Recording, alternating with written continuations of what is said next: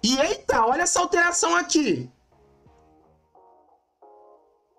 Olha essa alteração aqui. Vocês viram isso aqui? 87, 88 com coins, 89 a 91 não negociável. Opa, tivemos novidade aqui, hein? Ah, agora tá explicado, galera. Agora tá explicado.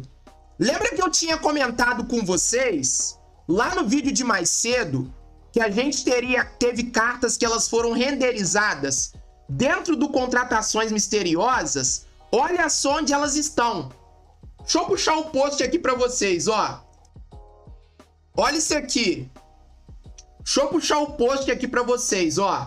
O Artemi, galera, quando clareou o dia, ele trouxe essa postagem aqui pra gente. Lembra que algumas cartas, elas tinham ganhado versões duplicadas de qualidade básica. Mataus, Yashin, Ronaldinho, Van Basten, Puyol, é, Gullit, é, Best, Nesta e Figo. E ele tinha achado também nas pastas carta do Haaland, Rubem Dias, Benzema e Lewandowski. Dentro da pasta do Contratações Misteriosas. Agora tá explicado. Agora tá explicado.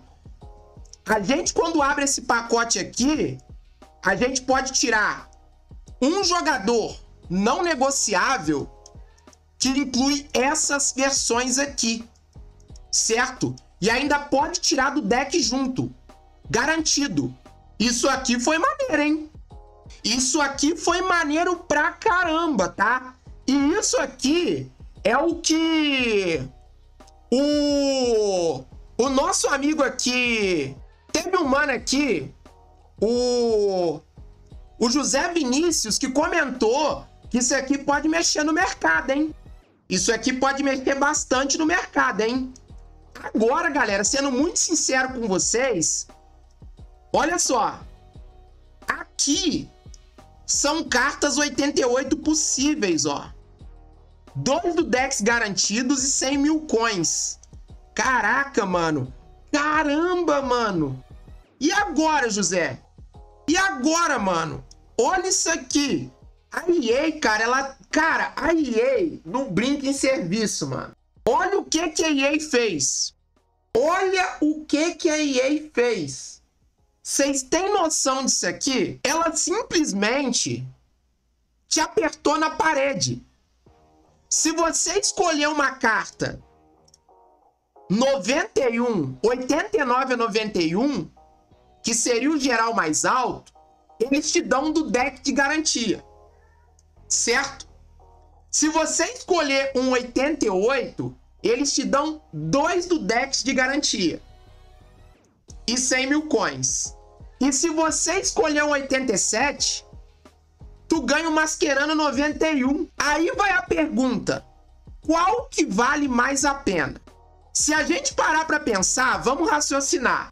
No momento que a gente tá, por exemplo, uma carta 89 a 91, ela faz uma frente. Por exemplo, se você tirar um Zico, se você tirar um R10, se você tirar ali uma carta do Mataus, se você tirar um Gullit, um Best, até mesmo um Haaland ou um Benzema, ou até um Lewandowski, mas mais colocando esses aqui de frente, que eu citei, Zico, Mataus, Ronaldinho, Best e Gullit, você se dá bem.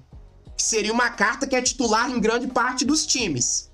E você poderia até, inclusive, fazer aquela estratégia de ir lá no mercado, comprar uma carta dessa com valor de mercado, jogar essa aqui em cima, por exemplo, e ainda fazer um dinheiro federal, garantindo um do deck, se a carta não for do teu interesse. Agora, se você optar por uma carta 88, que tem alguns icons bem tops aqui, tipo o Roberto Carlos e o Petit, certo? Você ganha dois do deck, um nosso e 100 mil moedas.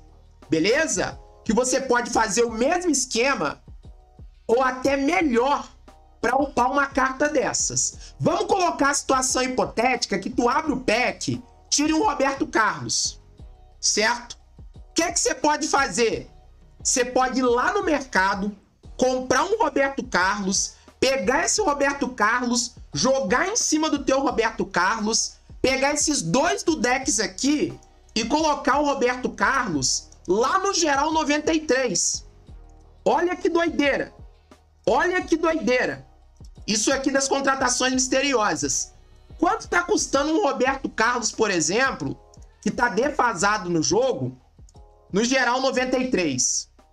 Ó, quanto está custando um Roberto Carlos, por exemplo, no geral 93, que seja 125 milhões de coins. 131 milhões de coins e nem tem para vender.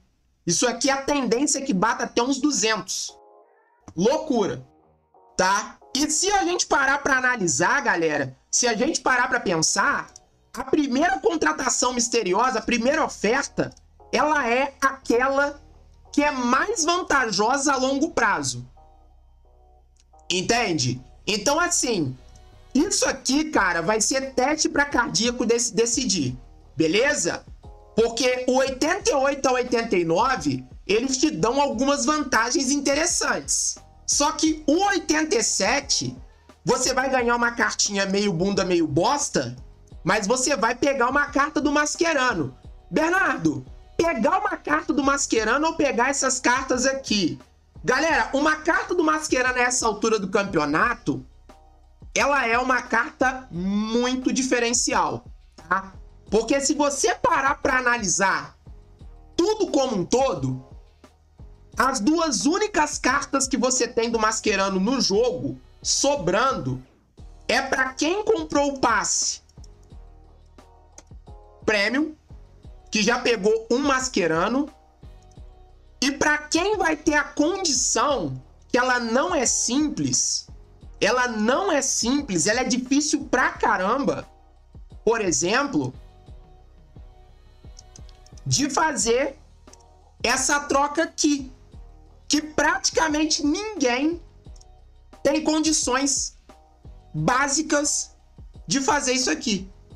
Porque você estaria casando cinco do deck que fariam totalmente a diferença na tua progressão para upar cartas 88 89 certo? E ainda assim teria que casar duas cartas 90. E carta 90 atualmente é para colocar no time, não é para casar em troca. Então assim, cara, aí é que são elas.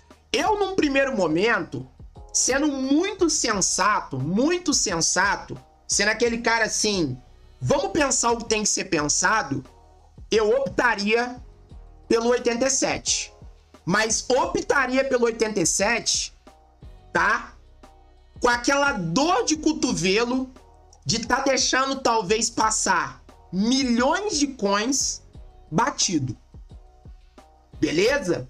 Tipo assim, eu pensaria a longo prazo, certo? Porque a tendência, por exemplo, de janeiro ali, final de dezembro, é que a gente tenha muita carta 90 a mais no jogo.